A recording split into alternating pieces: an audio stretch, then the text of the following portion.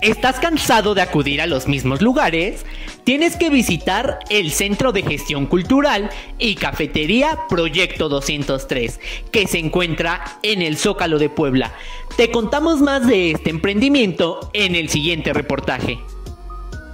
Durante una visita que Revista Rayas realizó al establecimiento, los socios Rogelio Mendoza y Mauricio Solís explicaron más sobre el concepto de este local.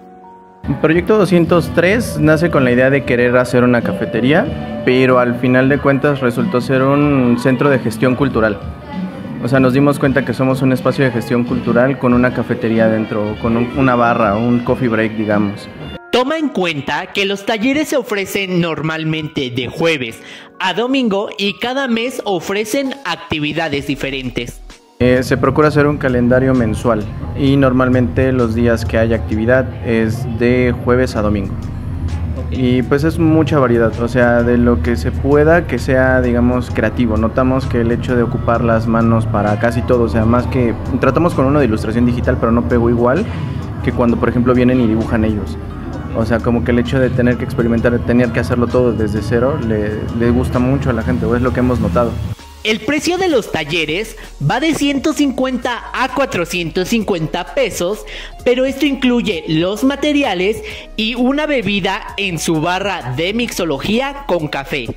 Y en cuanto a los talleres, van de los 150 hasta los 450, es el máximo que hemos cobrado por un taller.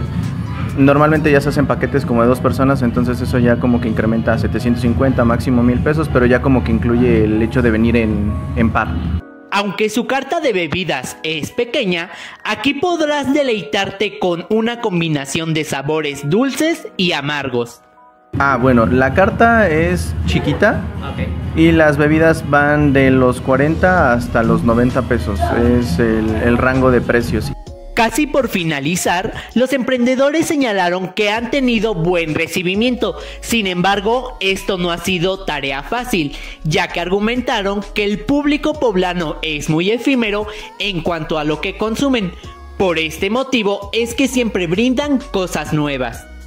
El nicho poblano es bueno, pero hay que agarrarle el modo. O sea, hay que agarrarle como que esa, esta, esta cosa de saber bien qué es lo que buscan, qué es lo que quieren para poder entregarles, ¿no? Y no, es, un, es un poquito saber cómo, cómo aterrizar las ideas en ese concepto.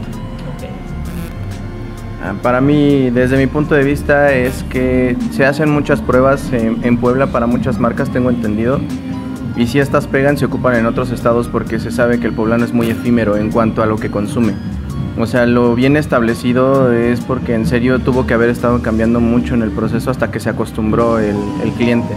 Y entonces nosotros entramos como que en ese estado de tener que estar dando casi siempre algo nuevo para que tuviera mucho ese auge de, empezar a tener vista. Entonces yo creo que así es como, como siento que se maneja mucho el, el consumidor en Puebla.